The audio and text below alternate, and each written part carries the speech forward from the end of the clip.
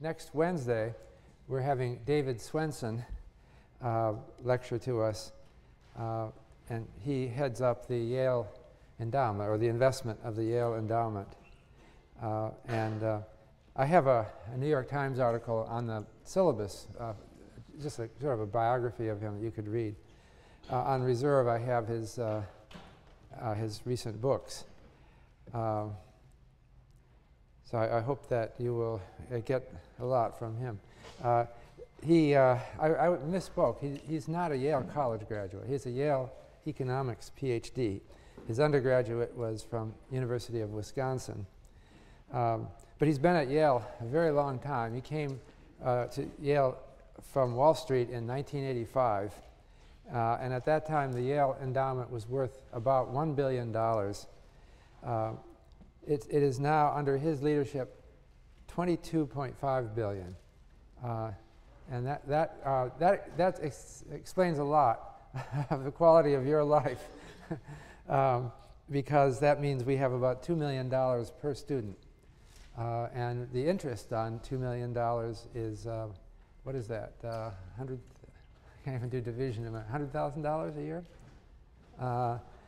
Uh, and so that's why uh, Yale is more, much more generous with financial aid than other universities and why we have beautiful Of course, this room was built, I believe, in the 30s. uh, uh, don't thank David Swensen for this room, but uh, for a lot of other things. Um, so uh, Yale uh, had a 28% return on its portfolio last year, which was number one of all college endowments. Uh, moreover, it's had a 17.8% average return for the last 10 years, which is number one among university endowments. Um, we beat Harvard. we beat Princeton. but actually, uh, Princeton was, was, the head of the Princeton uh, endowment is uh, a protege of David Swensen. Uh, and I'm sure these people get together and talk. All of the major universities, Harvard has been doing very well too. And so has uh, Duke, MIT, Amherst, a lot of, uh, it seems that universities manage to invest very well. Uh, at least they have in recent decades. And I think that has, my theory, that has something to do with the intellectual atmosphere at universities, that uh, investing well requires uh, careful study. And the intellectual tradition we have at universities uh, helps uh, promote that. So uh, I don't know if David Swensen can continue to do this. I think we're, uh, he's had a, a, spectacular return, but he's getting into a challenging year. This is a year of financial crises. So I'm warning you ahead that don't expect a 28% return on the Yale portfolio uh, for the coming year. Um, you can ask him about that. I don't know. If he can do it again in this, in this situation, it will be amazing. Uh, Okay, so that, that would be next Wednesday. So um, meanwhile, uh, I wanted to uh, uh, talk today about regulation. Uh, and, uh, wow. I think we're all right. um, yeah, something needs more regulation here, I think. So, uh, all these wires. So, I wanted to, to, motivate regulation in terms of the last lecture. Uh, our previous lecture was about behavioral finance, and it was about human failings. Uh, and I think that uh, we motivate a lot of our regulation of financial markets by the kinds of errors that people make. And I want to list a few, uh, uh, a few errors that are well known uh, and that are exploited by unscrupulous people in finance. Uh, and so I think they motivate uh, a lot of what uh, regular. So I'm going to write a number of principles of behavioral finance down and just mention them briefly, and then we'll turn to regulation. So uh, these are things from the field of psychology.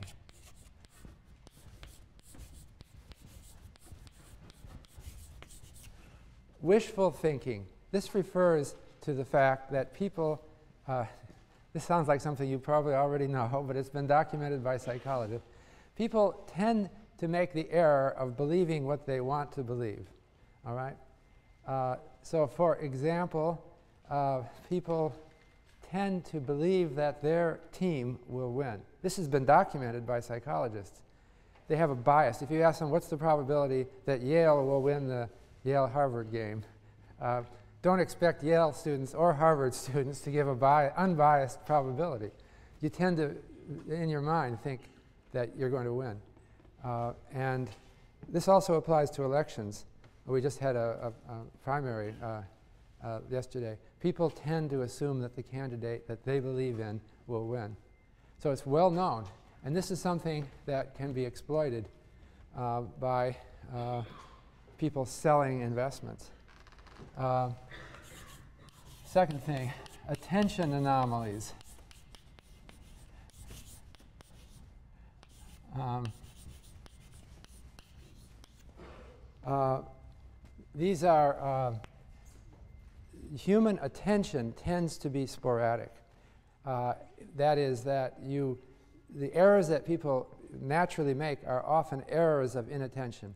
You look at certain things and you overly, uh, you pay too much attention to some things and too little to others. Uh, this is uh, uh, this is something that psychologists have been talking about for over 100 years. Uh, human attention is part of human intelligence. We have to know what to pay attention to. And people of, who are not good in focusing their attention on the right things, I'm not talking just about attention deficit disorder, I'm talking about some more high level uh, question of how you know what you should be paying attention to. Uh, and uh, under attention, there's a social basis for attention. And that is that people uh, tend to pay attention to what other people are paying attention to. And so uh, it's easy to sweep things under the rug and get people to forget something. Uh, the kinds of things that are naturally talked about get excessive attention, and the details tend to get forgotten. Uh, three is anchoring. This refers to a, a, a, tendency for people in making quantitative judgments to subconsciously have their judgments anchored uh, by uh, some arbitrary stimulus. Uh, and I mentioned overconfidence last period. We then tend to have overconfidence in our anchored judgments. Uh, so uh, the, the, the uh, classic experiment that demonstrated anchoring was Kahneman and Tversky. I'm writing K and T uh, in a Wheel of Fortune experiment, which they did in 1974. Uh, what they did is they, uh, they, they got subjects to participate in a psychological experiment. And the experiment consisted of asking the subjects questions that had quantitative answers, which were always numbers from 0 to 100. Uh, and then they said, I'm going to ask you a question, but before you answer the question, I'm going to spin a wheel of fortune. You know, you, know the wheel of, it's like one of those things on quiz shows. It, it, you spin this big wheel and it rotates for a while, and then it stops at one number. Obviously, a random number, because this wheel of fortune had all the numbers from 0 to 100. Okay? So one of the questions they asked was, what percent of African nations belong to the United Nations? Okay? And uh, that apparently is a difficult question that most people didn't know in 1974. Uh, but they, when they did it, they said, we'll ask you the question and think, but while you're thinking about it, don't answer yet, we're going to spin this wheel of fortune. And so it comes up with a random number. Okay? Then they asked for the answer. Well, it turns out that people tended to give an answer close to the number that came up on the Wheel of Fortune. All right? Now, they perfectly well knew that the Wheel of Fortune was random. Uh, so uh, the experimenters, after they got the number, they'd say, hey, your number is almost the same as the number that just came up. Uh, and people would, and he said, did you just give me the number that came up? And people would deny it. They would say, oh, no, I wasn't influenced by that number. The, the point of anchoring is that you are subconsciously influenced by numbers uh, and that it affects your judgment. You think you know. So, for example, in looking at a stock price, if you ask people to predict a stock market price, they think of some number that they saw before, uh, and they are overly influenced by that number.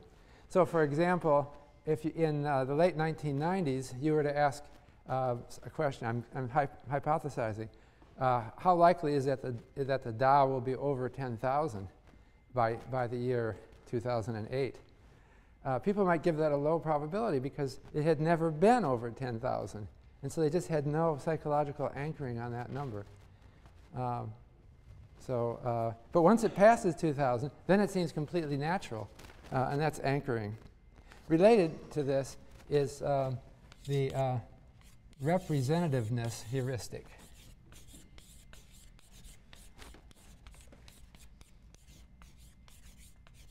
I can't even write this, it's a long word. Representativeness heuristic. It seems to me that uh, if you type this, you'll get a spell check error. Uh, and that's Kahneman and Tversky again. Uh, and it's related to anchoring in some sense. What it means is that uh, it refers to a human tendency to judge events on the basis of similarity to other events that are prominent in our, in our mind without regard to the actual probability of the event. Uh, I'll give you an, one of Kahneman and Tversky's examples. People were asked uh, to uh, judge the occupation of a young woman, and they had a description of the young woman, and the woman was described as sensitive, artistic, etc. Uh, and uh, then the, the occupation choices that they were allowed were bank teller, sculptress, or something else. All right. Uh, many people chose sculptress because they thought, well, if she's a sensitive, artistic woman, maybe she's a sculptress. Uh, but that is a, uh, uh a terrible mistake because in, we should know that sculptresses are very rare. Very few people have the job of a sculptress or sculptor, um, and so uh, it's a mistake. So what it means is that people will, gosh, I'm being caught here. What it means is, that, I have to stuff this wire in my pocket. Uh, what it means is that uh, we sometimes exaggerate in our imagination some rare event, and it colors our thinking. Uh, so, for example, the um, stock market crash of 1929 is repeatedly re-expected, even though it only happened once, but it's just uh, prominent in our thinking. And people are looking at stock prices to see patterns that they remember that are prominent in their thinking, and then those patterns uh, are given an exaggerated probability. Uh, so when we looked at the random walk series, I think the representativeness heuristic played a role in there as well. When, you're, when you look at a random walk, you have the intuitive impression that you can extrapolate it, that it doesn't look like, you can't believe it's really random. Uh, but the reason you can't is because you overweight the probability of certain uh, things that caught your attention. Um, okay, so um, there's some more. I'm to. Um,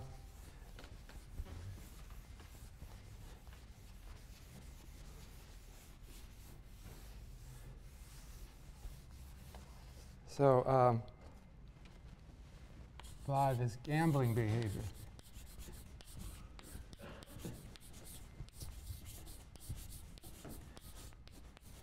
Anthropologists have found that uh, gambling is present in all human cultures. Not that everyone gambles, but uh, there will be, you, you, go to any uh, human society and ask about it, and there will be some game of chance that they play that, uh, uh, that influences their thinking. So uh, the, the problem with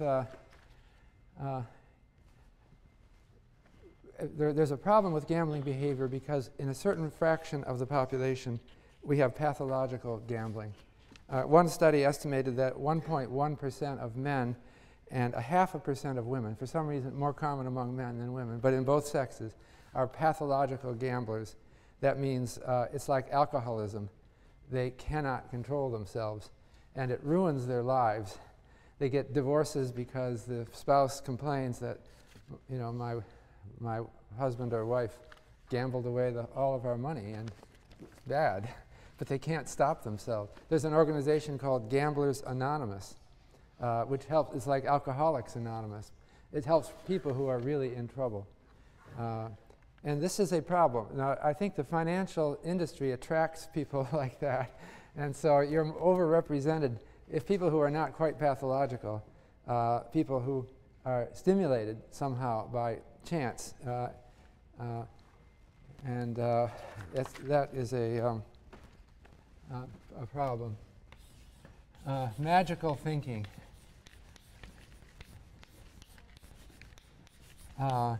this refers, this actually goes back to B.F. Skinner, a psychologist who flourished in the first half of this century. I actually had him as a next door neighbor.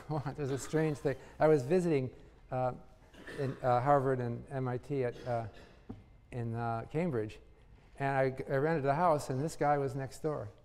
And he and I both used to walk into work together. Not together, I never really met him. but I always felt an affinity with him. Now, he must have died uh, 20 years ago by now.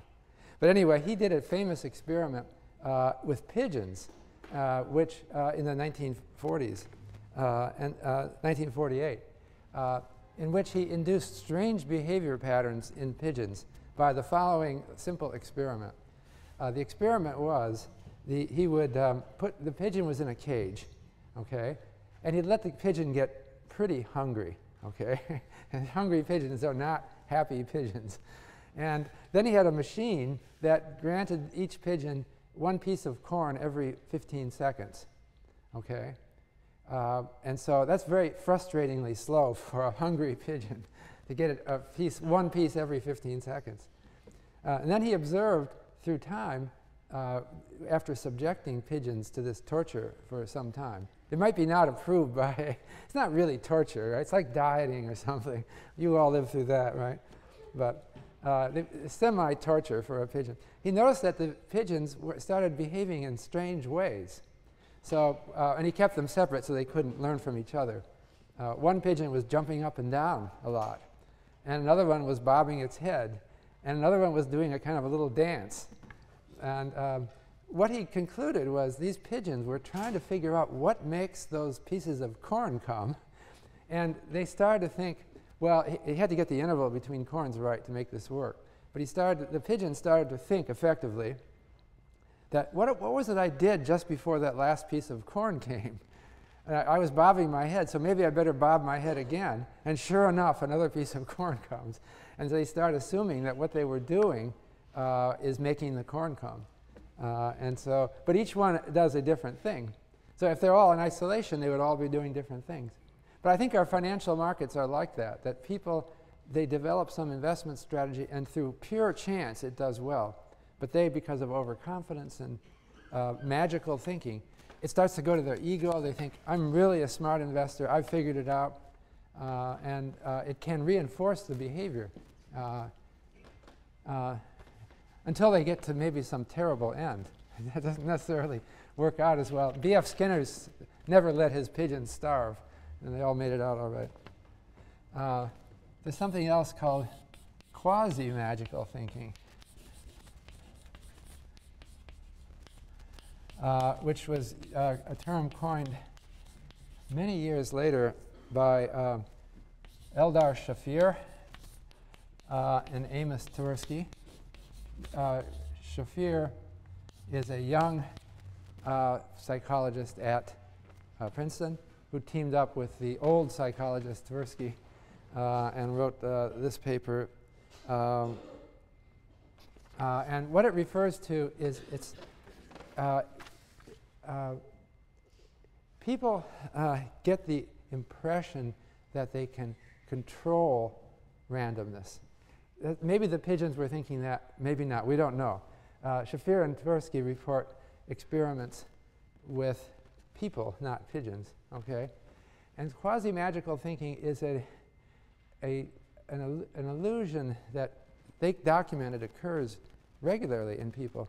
Uh, which they might deny if asked about, but there's an illusion that I can control randomness through my willpower or my. Uh, I won't talk about their experiments, but I just want to mention one um, by a Harvard psychologist, Ellen Langer. I mentioned this before, but I, I think I mentioned it before. Uh, if you say, I'm, I'm going to ask you to bet on a coin toss, uh, and I, and there's two different ways of doing it. One is to say, uh, how, much do you, how much will you bet? And then I toss the coin. But the other way is I toss the coin first and I conceal uh, the outcome. And then I ask, how much would you like to bet? And Langer found that people want to bet more if the coin hasn't been tossed yet. Okay? Why would that be? Why would you care? It's still the same experiment. It appears that people at some level think that they, they can exert willpower over it and control it. Uh, and this gives rise again to overconfidence among investors. It's also another example which is relevant. Uh, I don't know if any of you voted yesterday. Um, why do people vote? Because uh, economic theory would say that nobody ever votes. If we're all, uh, conventional economic theory says we're all relentlessly selfish and calculating, right? Isn't that what you've learned in economics? And so, uh, well, maybe you didn't necessarily, but that is a, a, canonical theory. But if you're relentlessly selfish and calculating, you would say, I'm, the chances that I decide the election are zero, right? And so I just, uh, I, am just not going to bother. The question is, you must have thought that, right? You know that you're not going to decide the election. Uh, and so what does it matter? And so if you can introspect and ask, why is it that I vote? Uh, I think that at least for many of us, there is, a, there is a sort of logical conundrum we go through, and that is uh, if good people don't vote, then we'll be in a bad world. Okay? And so I have to vote to prove that good people vote. And then maybe it will happen. If I'm a good person, then other people will be good person. Right? This is magical thinking. Uh, and it, uh, it affects people because it gives them a sense of confidence and power uh, over events that are thought to be random or uncontrollable. Uh, so uh, it can also uh, be something that can be exploited by, by some not so nice people. Okay. Now, I, wanted to talk about regulation then. The problem with finance is that uh, it's a beautiful, financial institutions are beautiful structures, uh, but they only uh, are as good as the people who use them. And so uh, the problem is that the history of finance is the history of a lot of people, uh, a lot of people being uh, exploited and treated badly. So there's um, temptations of the market that uh, people who uh, know human psychology know that they can exploit human weaknesses. Uh, and so there's a temptation to oversell uh, investments, that is, promise that they will do well. Uh, you see this all the time. I was just seeing yesterday's paper, someone was selling gold coins. one of the, you know, don't buy gold coins that you buy. See, you know that, right? But there were words in there. They said something. Of course, we cannot guarantee that they won't go up in value, but, uh, but historically they have always done it, or something like that. They're trying to oversell. You know that buying gold coins from some newspaper ad is not a smart investment. Uh, but, but they know that there will be people out there. Uh, you know, a recent example of overselling, the National Association of Realtors has been running ads saying that home prices have always doubled every 10 years. Uh, they, they, didn't do it, they didn't word that, they put it in the present tense. Home prices double every 10 years. Uh, so th that's an organization of people who sell real estate, and they have ad campaigns trying to convince you that home prices are going to double. Uh, that's overselling because we're in a real estate crisis and home prices are falling. Uh, and uh, that's the kind of thing that makes some people upset. Uh, there's a tendency to hide information. Uh, you, you, you avoid telling people the things that would discourage them. People have attention anomalies, so they don't go out and see all the information. And you, you, if, if you don't put it up front, you, uh, then they'll never find it. Uh, there's a tendency for loyalty to friends. That's your own friends. Uh, and there's this word, other people. I think different languages have different. Uh, you know, there's, there's friends, and then there's all those random people that we don't care about. Uh, and so uh, investors will have a tendency to try to hide information, or, or, people who sell investments will try to channel the uh, good investments to their friends and take it uh, and, and dump the bad stuff on other people. That's what's been happening a little bit, more than a little bit, in the subprime crisis. So we've managed to package subprime loans that we thought, some people thought were terrible, and sell them off to uh, unwitting foreigners uh, who didn't know. They thought that they were getting good stuff. Uh, there's also a tendency for churning for commissions. Uh, this is a, a, a, fault that real estate brokers can make. Uh, if they're paid by commission on each trade, they just keep calling you up and coming up with new ideas for new trades. Uh, and so uh, that's unethical behavior uh, because it uh, because if you if you keep trading too much, then you you cannot possibly make money. The, the trading commissions will eat up all of your profits, and professionals know that. So it's it's bad behavior. So we have uh, historically developed um, regulation regulations that deal with um, with these problems. The only reason, reason I believe that we have financial markets that work is because we have the regulations. So I'm going to talk primarily about U.S. regulations uh, and uh, give a little history of it. But the U.S. is actually an important country for regulation because uh, it has been a model for much of the regulations around the world. So uh, I, am going to give a kind of a history of, of financial regulations in the United States. Uh, that it makes it rather uh, a simple story. And the simple story is that regulation mostly came in with the progressive era um, at the beginning of this century uh, and reached its culmination at the time of the Great Depression uh, and set up a lot of institutions that are still with us today. And then there was deregulation which started in around the 1970s. Uh, and the events we've seen, well, that we're seeing today, is an outcome of both the regulation and the deregulation. So uh, I wanted to start out with uh, the origins of securities regulation. Uh, a, a, critical point was uh, a book written by Louis Brandeis. Uh, that's the guy that Brandeis University is named after. Uh, he was an author, a lawyer, then Supreme Court Justice. Uh, but he wrote a book in 1914 uh, called Other People's Money.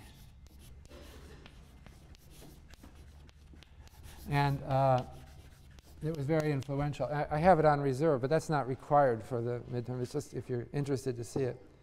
Um, and um, uh, he believed that uh, uh, the, the, most important step uh, for the government in promoting better financial markets is disclosure. To force, uh, to force businesses or financial uh, businesses to disclose the truth equally to everybody. Uh, and his famous quote is, sunshine is the best disinfectant sunshine meaning the truth, and uh, everyone in the financial industry has to just tell people what they're doing. Uh, and he said it, it, has to be really disclosed. And he likened it to uh, labeling. They were, they were already, uh, in 1914, starting to require that uh, food packages would show nutritional or ingredients and nutritional information. Uh, it was on the package. And he thought that's the kind of model for the financial industry the disclosure has to be made convenient so that it's not like you can get the information by going downtown to City Hall and asking for it. So the, the principle is that you have to require that the information be given uh, to the investor. So that was a very important. Um, so in uh, around the time of this book, state regulators were um, developing uh, at the state government level in the United States uh, what they call blue sky laws.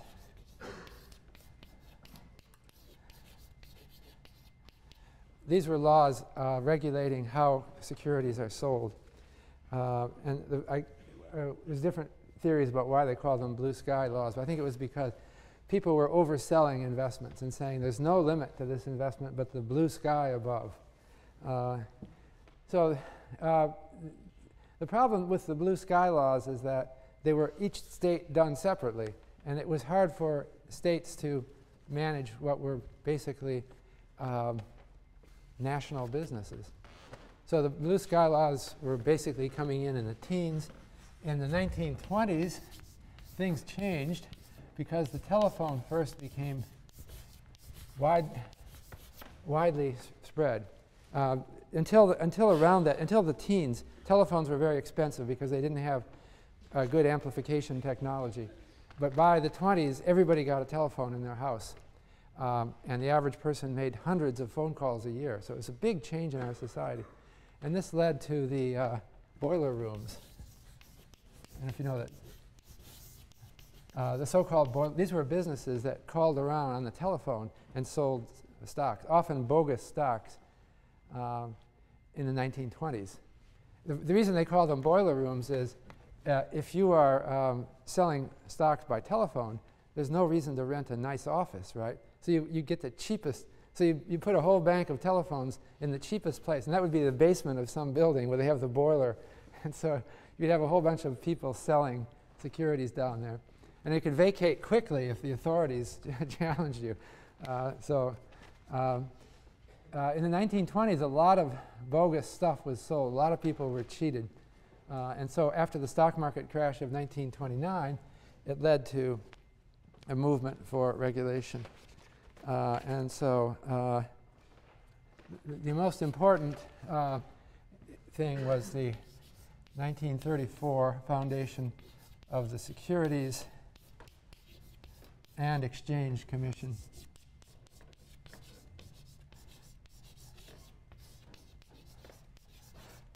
Or SEC uh, which I think ultimately um, dates back to, it's really the embodiment of Louis Brandeis principles. So uh, this uh, Securities and Exchange Commission was uh, a, an organization that I, I guess you say its, its principal structure, its principal thing was to make sure that disclosure was proper and that people uh, were found it easy to get the uh, information about securities. Uh, and the SEC uh, was very controversial at first because it was seen as interfering with business. And the U.S. has been built on principles of, of individual freedom, and this seemed like unnecessary government intrusion. Uh, so there was a hostile attitude between business and the original SEC. Uh, Franklin Delano Roosevelt was viewed as very left wing by business and very uh, uh, uh, contrary to American values. But in fact, the SEC promoted the very free market uh, concepts that were, that were widely believed in in this country. Uh, basically, what it did is it made it feel that people won't get cheated. and so the SEC was a strong regulator and it, uh, uh, it really did restore confidence in the financial markets in this country. Other countries in Europe, after the 1929 crash, they had a different reaction to the uh, scandals and problems of the 20s, and it wasn't as favorable to markets as in the US. But the Securities and Exchange Commission, from the beginning, had it as its mission to make uh, financial markets work properly, uh, and that is uh, a, a wonderful story. So uh, one of the first uh, chairmen of the SEC was a man named William O. Douglas, uh, who uh, was actually a Yale law professor. Uh, I guess he influences me uh, because um, I, I, have on, I have on the reading list, again, it's an optional reading, uh, but uh, he has a book uh, called Democracy and Finance.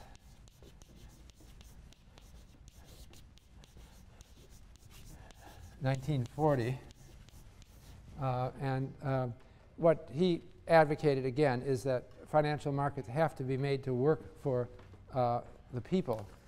Uh, I guess this influenced me. Uh, actually, in my 2003 book, New Financial Order, I talked about the democratization of finance as a fundamental principle. We have to make finance work for real people. And so for me, that meant understanding human frailties and uh, un understanding human psychology to make things work.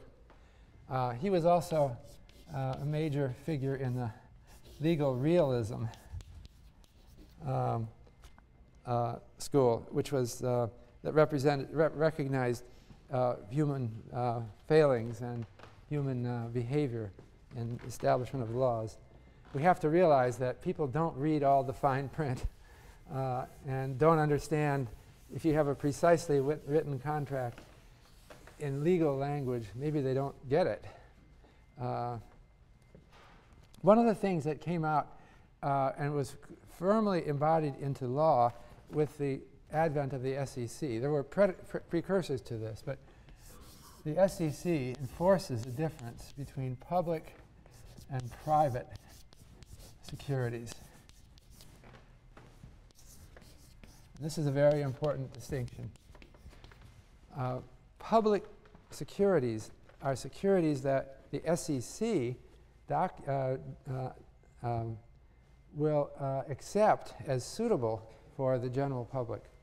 And private securities are securities that have not been vetted by the SEC for the general public. So um, uh, the SEC, uh, you have to decide. You, will hear about public companies and private companies. If you're a public company, it means that you've gone through the procedures at the SEC to be approved as a public company. If you are a public company, the, the, the, important thing is you have to do all of the disclosure that uh, Louis Brandeis would have liked. So you have to file regular forms with the SEC disclosing information. Uh, public companies. And these uh, public companies, if you want to get on the SEC website, uh, go to sec.gov, and then there's a uh, there is a uh, a uh, tab that you can click, which is Edgar. Uh, and if you click on Edgar, you can enter the name of any public company in the United States. And then all of its filings are online. And you can find out incredible amount of information about companies. Uh, it's all there, as long as they're public companies. Uh, so public, a lot of companies don't want to be public because you can't keep secrets very well. You've got to regularly put those things up online, and they're out there for everybody to see. Um, so why do companies can choose whether to be public or private? Why do they choose to be public? Well, they, it's a balancing. They have to balance. Sometimes they don't like the choice they made, but uh, the, the advantage to being public is that people trust you more. Uh, moreover, your market is bigger. Uh, and and uh, so public companies have an advantage. So uh, companies don't like to be public generally. It's contrary to their instincts. We, we keep all sorts of secrets in our company. We don't want to be filing all of our information all the time and having it go right up on the website on standard forms so that everyone can easily process it. Uh, but they, they may swallow their doubts because they have a sense that it will improve the market for their shares. So we have uh, a, a, lot of public companies. Um, now, if you are a public uh, private company, uh, you are limited to uh, what uh, um, where you can sell your investments. Uh, and let's talk an example of, of an important kind of private company. It's called a hedge fund. Okay.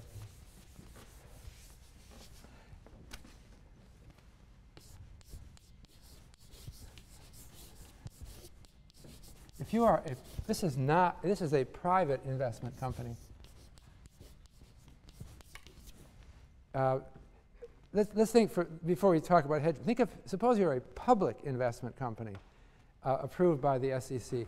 The problem with being a public investment company is you have to file quarterly reports about all the things you've invested in.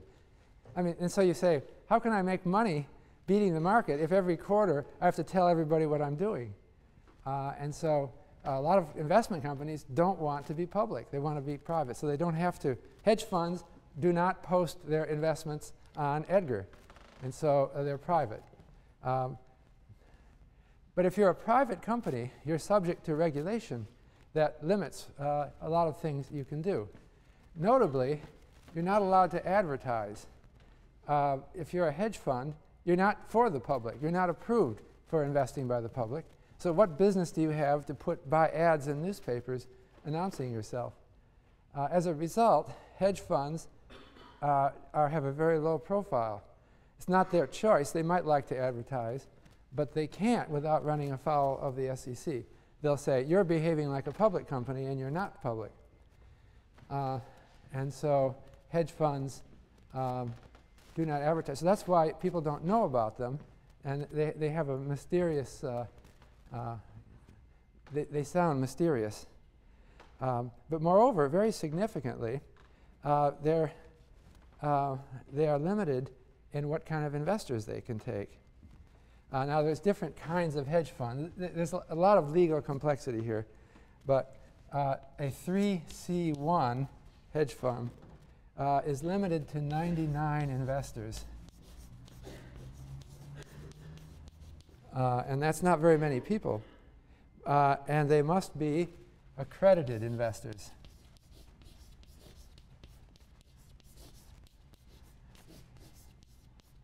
And so you ask, what is an accredited investor? Well, if you want to find out, you can get onto sec.gov and it will give you the current definition. So I wonder how many of you are accredited investors. I would guess not many of you. Uh, here's how you become an accredited investor. A, you have $1 million in investable, that's not including your house. It's in investable assets, okay? Uh, I won't ask for a show of, I don't know how many. Two, you're making at least $200,000 a year. Uh, or um, you, uh, if you're married, you have to be the couple making at least 300,000. Um, so um, it's supposed to be a fund for rich people. Incidentally, they haven't raised the definitions of accredited investors for many years. So uh, last year, the SEC uh, put out a proposal that uh, you know it's getting too easy to be a, an accredited investor, uh, and so they put out a proposal that we raise the uh, wealth level to 2.5 million. Okay, uh, and I thought they were going to, and that was to protect people who might be naive, innocent people who only have a million dollars or only have two million dollars and don't know what they're doing uh, from hedge funds. But uh, it got shot down apparently because it never, never happened. I, I, think it's very hard to raise the definition of accredited investors because the minute you do that, you're closing large numbers of people out from their ability to invest in hedge funds, and they don't like that. They feel insulted.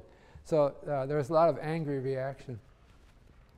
Uh, there's also another kind of hedge fund, 3C7, uh, which can take 500 investors. Uh, if, they, if they register as a 3C7, they can take more investors. But then they're limited to qualified purchasers. and this is just an example of their regulations. Uh, and a qualified purchaser uh, has to have at least $5 million. Uh, or if it's an institution, at least 25 million. Um, that is a natural person. Uh, a natural person refers to a human being. Uh, so it's 5 million for natural persons uh, and 25 million for institutions. So if you're a small college with only 20 million in a portfolio, you don't come across as a um, qualified purchaser. They're trying to protect innocent small colleges who only have $20 million. The idea is that people who don't have much money can't afford expensive lawyers and they can't figure it out, and they really shouldn't be investing in hedge funds. Uh, so that is the uh, uh,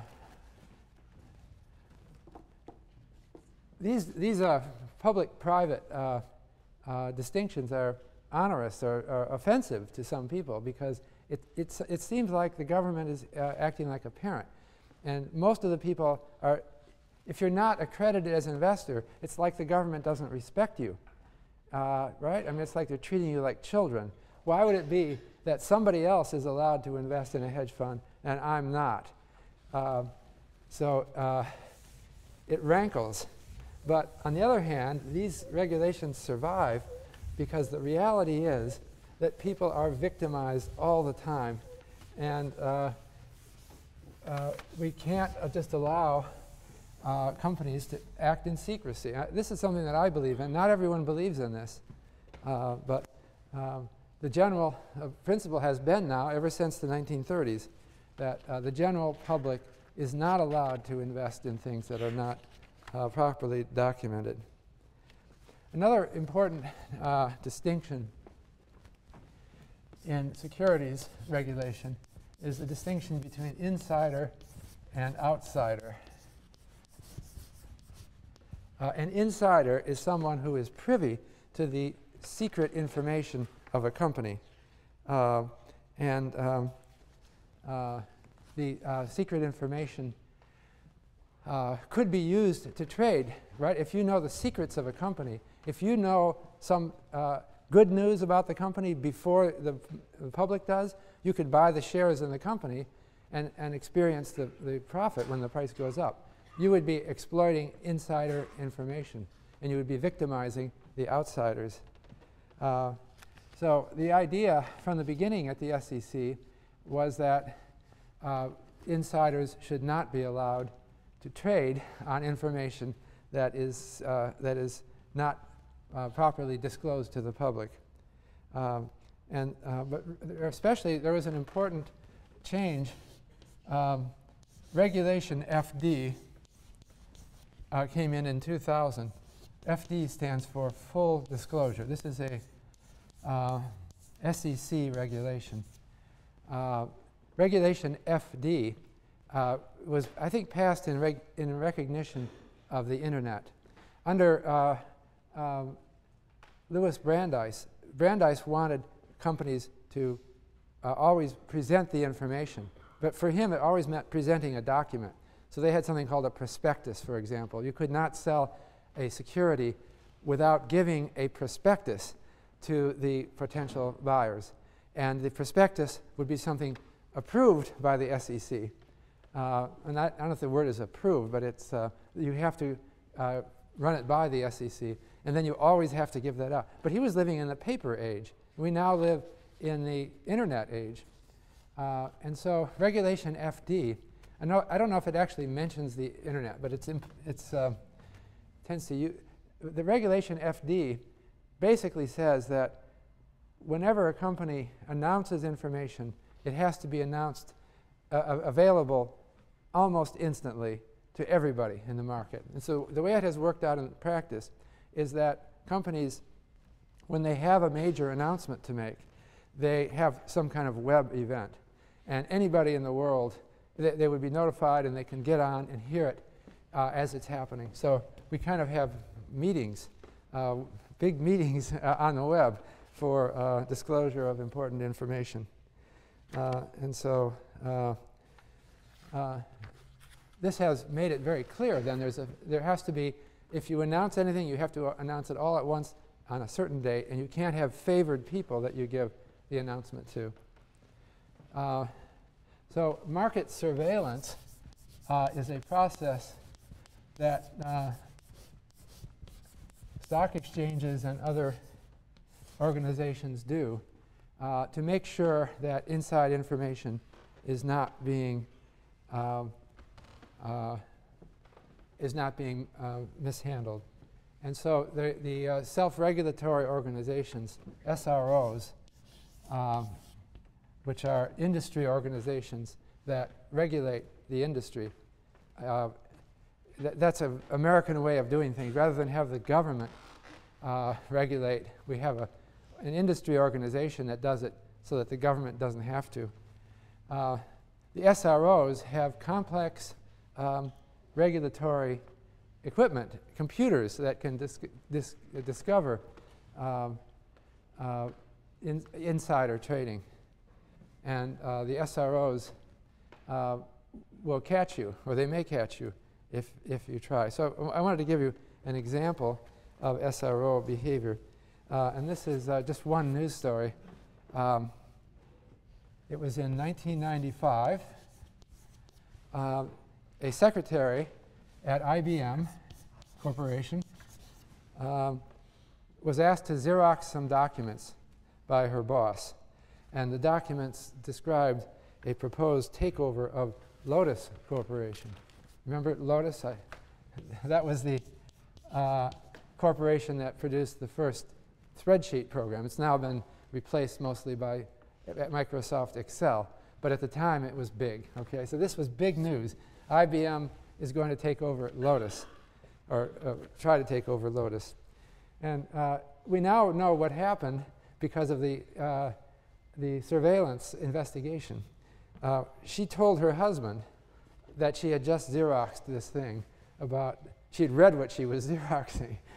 And she told her husband, who was a beeper salesman, about the news. Uh, he did nothing except tell two friends the story. He didn't buy share, he just told two friends. My wife says that IBM is going to take over Lotus. The friends immediately bought uh, Lotus shares. Uh, and uh, uh then by, that was June 2, by June 5, 25 people had bought, had spent half a million dollars to buy on this tip. They included a pizza chef, an electrical engineer, a bank executive, a dairy wholesaler, a school teacher, and four stockbrokers. okay, stockbrokers get the word faster. Uh, guess what happened? Those people are all uh, uh, in trouble because it's illegal to trade on insider information. It, and this, they tracked them all down. And uh, uh, uh, so I'll give you another example. Uh, and this is the example of uh, uh, Emulex Corporation. Maybe this isn't exactly in insider trading, this is more fraud. But uh, in uh, what year was this? Is around sometime in the late 90s. Uh, Mark Jakob, his name, he's the guy, he's the criminal here. He's probably out of jail now. But Mark Jakob was upset with, he had been an employee of Emulex uh, and uh, uh, had, had access to inside information of the company. and so he, I guess he was involved in the, um, in the dissemination of information for the company. So he kind of knew how they did press releases. So he sent out a fake, he bought, he shorted the company and he, uh, the stock in the company, and he bought, uh, he, he, put out a fake press release uh, saying that there was bad news for the company. Uh, and uh, he knew how to make it look like one of Emulex press releases. Um, he also did it from the El Camino Community College Library because he thought, I, will be careful, I won't issue this fake press release on my own computer because they might be able to track me back to my own computer. So he went to this community college and got one of their library computers and he issued the press release there. He got picked up by all the major news services, the stock plummeted, he sold, immediately, and, and he made a lot of money. But the problem is, it didn't work. They, they, they, they tracked back who sold, who had shorted and who had sold just before, just at that time. And they also, um, they went back to the El Camino Community College Library and they interviewed the librarians and tried to uh, ask them, do you remember somebody coming here that didn't look like a student? And uh, they identified him, and so he was caught. So that, that's what, uh, what surveillance does. Um, uh, they make markets work because if you didn't have this, there would be all kinds of there would be all kinds of uh, uh, crooks and bad uh, bad actors. and the, the, thing about these organizations is that they cost money and they cost nuisances. A lot of people in the financial community are annoyed by them because these regulations are costly to comply with, and they take uh, a lot of resources. But uh, I think uh, enlightened view is that these things are absolutely essential uh, into trusts in the market. Um, another form of, uh, uh, of uh, regulation is accounting regulation. So, for example, we have in the United States the Financial Accounting Standards Board. It's right here in Connecticut. Or FASB. This is a, not a government organization. Uh, it was organized uh, uh, by the SEC in 1973. Uh, but the SEC didn't want to do this job. They wanted it to be done privately. Uh, so what FASB does for the United States is it creates what are called uh, generally accepted, that's a G, generally accepted accounting practices. Uh, they're rules for how a company should keep its books so that uh, uh, uh, so that there's some regularity and standards in how uh, accounting is done. and so when, when the Financial Accounting Standards Board listens to what corporations are saying and, uh, and helps them. Uh, uh, it, it, adjusts these standards from time to time, but it, it does have uh, uh, definitions that have to be maintained. Uh, and um, so a company has a, a, a, profit and loss statement, and there's something that is called net income, which is a measure of how much the company is making, the, the, uh, the profits after expenses of the company, called the bottom line, uh, and uh, the uh, GAAP standards uh, define this. There's also operating income. Uh, now, companies can use other definitions of other accounting standards besides these. Um, and some of these other definitions which are not always GAAP, other standards, uh, and are widely used in the industry are uh, other kinds of, they have what's called core earnings, uh, pro forma earnings, um, EBITDA, uh, which is earnings uh, uh, earnings before interest, taxes, depreciation, and amortization, adjusted earnings. There's all kinds of different definitions. And so uh, uh, companies like to do it their own way because they want to present themselves in the best way to the public.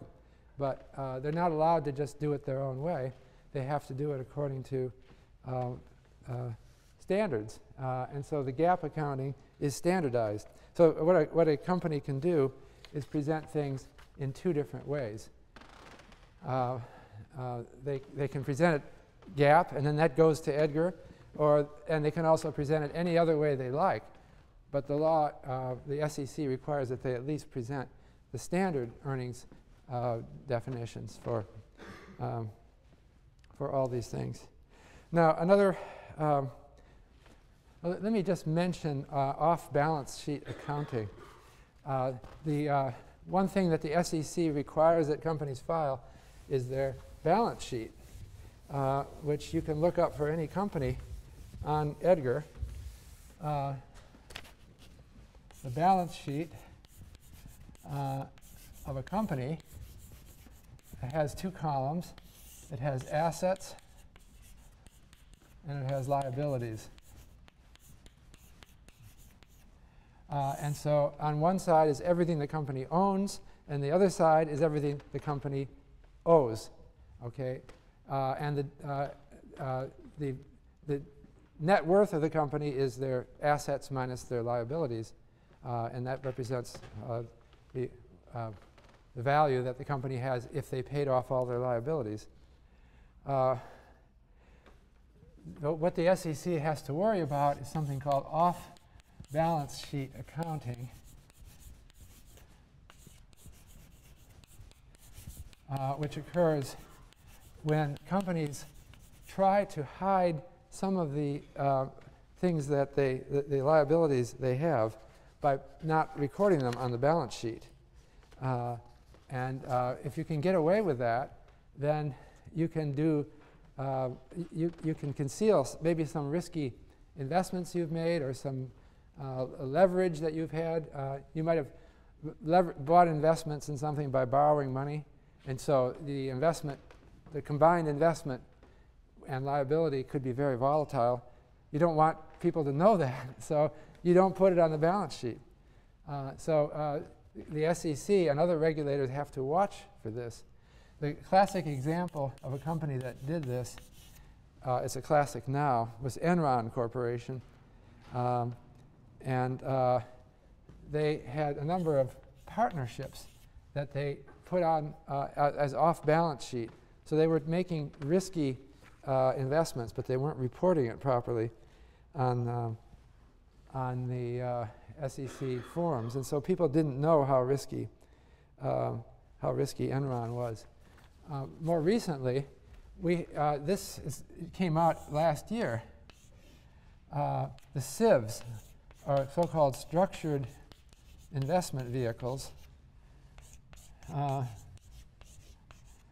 were used by banks to cover up investments they had, often in risky subprime loans. Well, they, they created special entities called SIVs, uh, and uh, the SIVs would be uh, borrowing money on the commercial paper market to buy subprime loans. Uh, and uh, they were uh, in a very risky position because subprime loans were already recognized as being risky, and they borrowed to buy them. And so, if the value of the subprime loans went down just a little bit, the, uh, the SIV uh, would be in trouble. Uh, and so, in the SIV contract, there was some language that implied that if the SIV ever went bankrupt, the bank would come back and rescue them. And so, the SIV really was a liability but it wasn't visible to, to investors who were investing in the bank. So this is another example of off-balance sheet accounting that was frustrating um, the rules of the SEC. Um, I wanted to talk about uh, the um, uh, another uh, another instance of regulation that uh, is important in the United States, but it's very poorly known. Uh, we have something called SIPC. Uh, that's the Securities Investor Protection Corporation.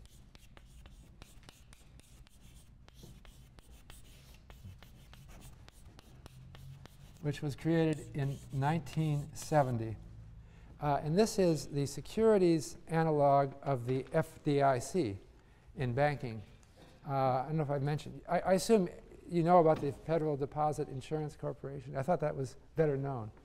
Well, let me just mention it uh, by analogy. Uh, in 1934, after the failure, it was actually created by Congress in 1933 and uh, uh, went into business in 34 the FDIC, Federal Deposit Insurance Corporation, so I'll put it down as 1934, guaranteed for small depositors uh, the uh, savings deposits they have at a bank. And that was to protect depositors uh, in the case of bank failure. And it was a very important uh, innovation because at that time there were huge runs on banks. People were pulling money out of banks because they feared that if the bank failed, then they would lose their money. And so it created a huge crisis in 1933. So it's, but it's for small investors because currently the limit on the SEC uh, is $100,000, right? So that's not a lot of money. Um, maybe you think of it as a lot of money, but it's not. Uh, if someone's saving for their retirement, you better have a lot more than that. $100,000 is only a few years' income, at, even for low income people. But at least uh, we want to protect the small investors in the saving in banks. So actually, if you, if you, if you have more than $100,000 in a bank account, you should probably pull it out and spread it around over several banks because each bank is separately insured. So there's effectively no limit if you're just a little bit smart uh, and you move your accounts around.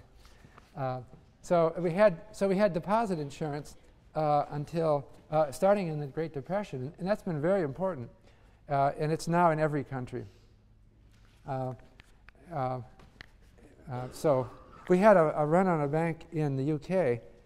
It, it, was called Northern Rock last year, um, and it, it turns out that there was a failure of the UK deposit insurance. I would say it's a failure because uh, UK deposit insurance insured Northern Rock only for the first 3,000 pounds uh, up completely. And then for the next, I forget how many thousand pounds, you were 90% insured. Uh, so that was not good enough because people were worried about losing 10% of their deposits. And so there was a big bank run, and Northern Rock uh, would have failed if the Bank of England hadn't come by to rescue them. Uh, so I think these deposit insurance uh, are very important. But we, don't, we didn't have anything for corresponding accounts at brokerage services until 1970. Uh, and um, it, uh, this was motivated by a, a, spectacular failure of a brokerage, Goodbody, uh, in, uh, in company um, in 1970. I hope you know what I mean. A brokerage service is a is a place where stockbrokers work. And a stockbroker is somebody that manages your buying and selling of shares. All right? And so if you want to buy stock, you can call a stockbroker. Uh, like Merrill Lynch is a big retail broker, and they're right down here on the green. Uh, you can go there and say, I want to buy stocks. And the broker will say, Fine, we'll set up an account for you. Uh, you deposit money in our account. Now, he's not a bank, he's a broker. Uh, we'll set up a cash account and a securities account, put some money in, and then you think about it, and then you call me up and say, Do you want to buy uh, some stocks? Uh, then I'll, I'll take money out of your cash account and I'll put it in these securities. That's a broker, okay? Goodbody and Company was a broker. But it failed in 1970. It went bankrupt. Uh, and then it looked like the people who had money and shares in them would lose. Um, there's two things. You can have a cash account with them. You put money into the cash account and you haven't bought shares with it yet. It's just sitting in a, it's like in a bank. Um, you could lose that because Goodbody and Company is going bankrupt, right? It doesn't have it anymore. And what about your shares? Well, Goodbody and Company is supposed to have your shares, uh, right? But it, they, they, they generally hold them in what's called street name. And that means Goodbody and Company owns the shares. And you just have a re contractual relationship with Goodbody that in principle, some of those shares are yours. Um, but the company that you're investing in ultimately doesn't have your money. It's, it's Goodbody that they're dealing with. Although they have ways of, for proxy, and uh, other, they have ways of finding out who's who. But uh, the problem is if your brokerage firm fails, you could lose uh, a lot. You could lose your cash account and your uh, security account. So uh, SIPC was set up in 1970, uh, and SIPC uh, insures cash accounts up to $100,000 and uh, securities accounts up to 500,000.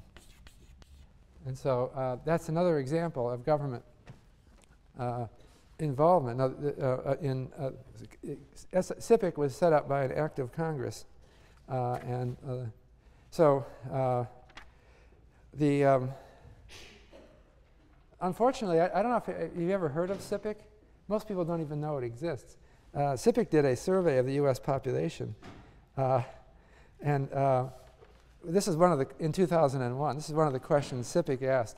Um, the, the, respondents were asked to identify the organization that insures you against losing money in the stock market or as the result of investment fraud. Uh, only 16% of investors knew that there is no such company. Let me make it clear.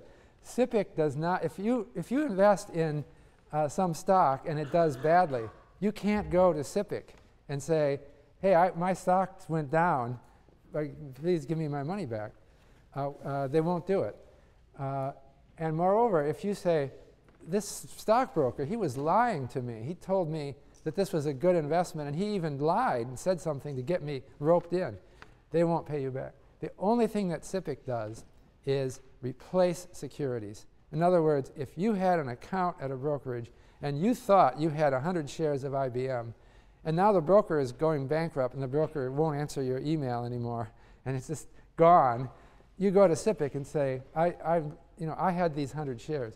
SIPC then returns 100 shares to you. They don't pay you cash. They, they give you the 100 shares, and that's all they do. Uh, so you might say that our regulation hasn't gone far enough, and I think maybe it hasn't gone far enough. Uh, we protect certain kinds of things, and people have to pay attention. It's a difficult problem that uh, not everyone is smart. They vary in their ability. So we try to make a world in which uh, it's pretty safe for the small investor who's not paying attention. But ne it's never perfect, and, and, and, we can't figure out yet a way to make it perfect. And we still have small investors who are defrauded, who are treated badly. And the subprime crisis is an example. Some people were treated badly in this uh, recent financial crisis. So we just have to keep improving our regulation and trying to make it uh, deal with all of the problems as they come up. The problems are complex because we're trying to make a system in which people are able to make their own decisions as much as possible and to make them in a way that, uh, in an environment that they trust. But it's just too complicated and too, it's impossible to make it work perfectly. All right, so that will conclude this lecture. So I'll I won't be here Monday, but uh, my TAs will, uh, will handle the exam, and I'll, I'll see you on Wednesday.